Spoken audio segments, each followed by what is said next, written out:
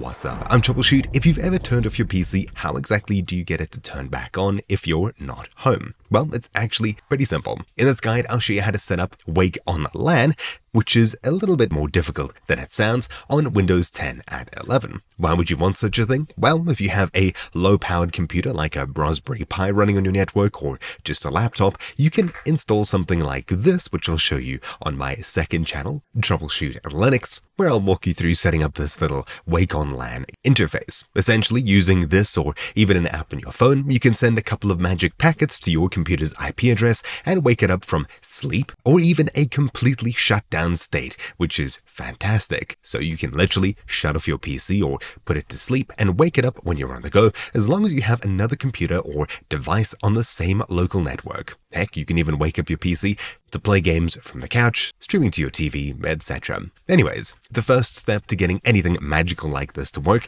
is getting Wake on LAN to work. There's a couple of prerequisites. There's two things that we need to do. We need to turn on Wake on LAN in your BIOS settings or UEFI settings, and we need to enable it on Windows or whatever operating system you're using, as that sets a little flag somewhere in your computer's memory that tells it to keep the Ethernet turned on. There is a Wake on Wireless LAN, which is another option, although I won't really be covering that here.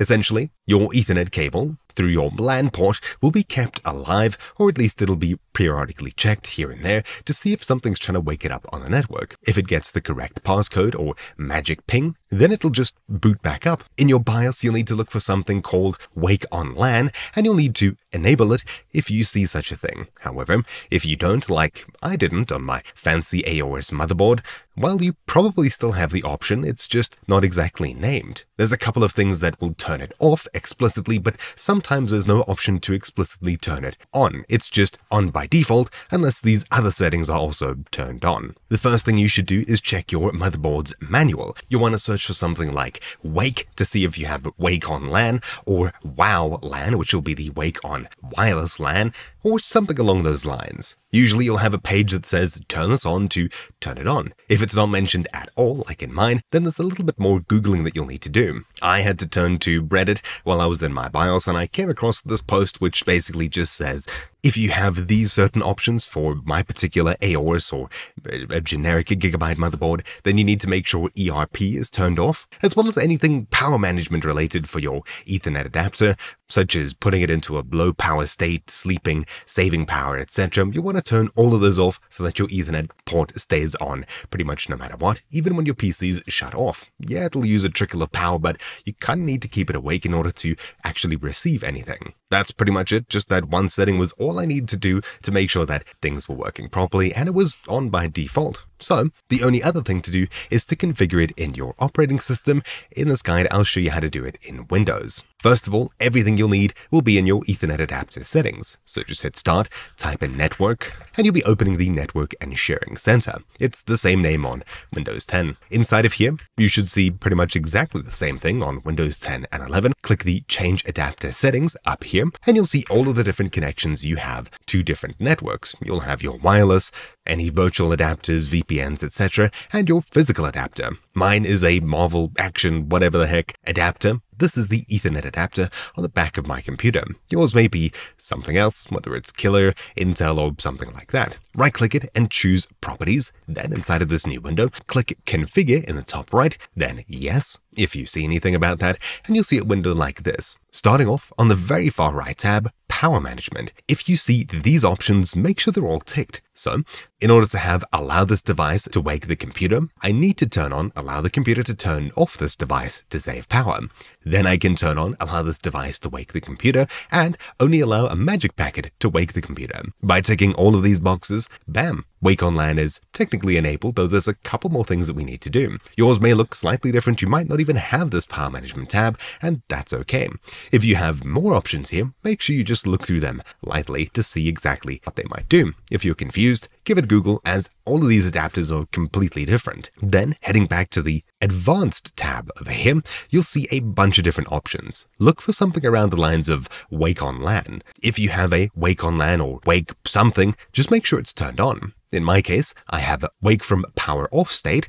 I'll make sure that this is enabled. Wake on link, I've set this to forced, which is the only other option besides disabled. Wake on magic packet, I've set this to enabled. Wake on pattern match, also to enabled. And wake on ping, I've left as disabled, but you can enable something like this if you wish. I just think other devices may ping it over the network like smart devices, and it could end up turning on my PC, so I've left this one off, and it seems to work just fine without it. When you hit OK and turn off your PC, it might work, but usually you'll need to scroll through the rest of these options as well to make sure there's no energy efficient Ethernet. If you have this, turn it off. Anything green or anything power saving for your Ethernet, turn that off as well. It's not going to use a huge amount of power. It's not a power hungry CPU or graphics card. It's just a little bit of power to make sure that that port stays alive and you stay communicating with your router as your PC is sleeping or turned off. I'm pretty sure that's everything I needed to change here. Yeah, I think so. All you need to do from here is hit OK and you can close out of this window. That's it. You've now turned on Wake on LAN. But there's still a couple of things that could be in your way.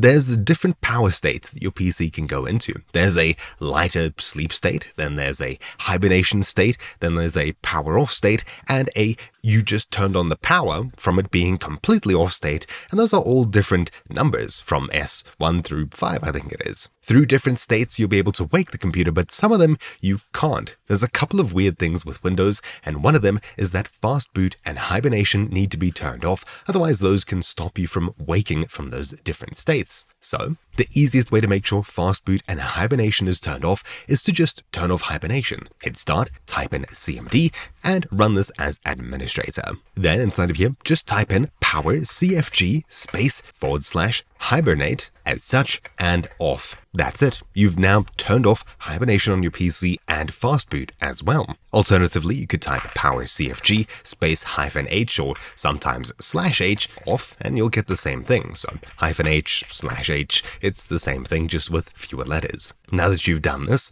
if your C drive was a little bit full, you might find that it's actually a lot more empty. So hey, you may have just saved yourself a couple of gigs of drive space. Just a quick note, this is a little bit iffy and somewhat unreliable at best on certain PC configurations. Mine seems to work just fine unless I turn it off completely using the power switch and turn it back on, then waking from LAN doesn't seem to be a thing. In this case, I'd recommend looking through your BIOS for something like an AC restore, which will put it back to the same power state it was at before the power cut, or just then boot on AC restore, so whenever the power turns on, your PC turns on as well. Rather have it on for a little bit longer than it should be then off when you're nowhere near home. And with that, you're pretty much able to go and test this straight away. If you know how to send a wake on LAN request, then go ahead and test it, put your PC to sleep, or turn it off completely and see if it works. Try sleep first, and if that works, great. Try turning it off completely, just by shutting it down, see if that works, and then try seeing if cutting the power and bringing it back also works, although that's a little bit less likely. Again, you may need to turn on a boot option in the BIOS to turn it on as soon as the power is restored. If you don't already know how to send a Wake on LAN request, there's thousands of apps that let you do it from your phone to your laptop, etc.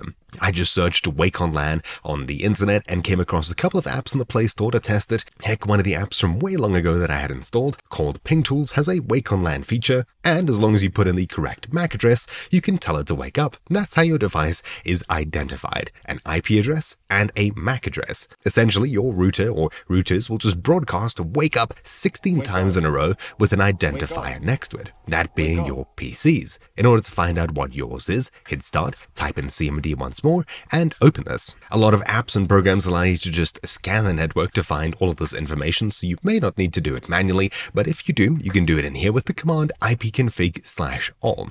This will show you everything about every network adapter on your system. Just look for the way that you're connected to the internet or your local network, such as the Ethernet adapter Ethernet in my case, and you'll see your IPv4 address, which is your usual IP address. Mine's 192.168.150, and you should also see a physical address, which is your MAC address. This is my PC's local MAC address. When you are entering information into these different apps, these are the two pieces of information you'll be asked for. When you turn off your PC, these two options should stay the same, or at the very least your MAC address should stay the same, as it should be unique for most of the devices out there. And that's it. It does require a bit of troubleshooting as it is really finicky to get going, but once it works, it usually works pretty well. But of course, it's not really the most reliable thing, as walking up to your PC and turning it on is, sadly. Anyways, hopefully you have better luck than I do and getting it to be super reliable. Mine's okay. If there's anything mission critical you need to have access to, just make sure you have it backed up on the cloud somewhere.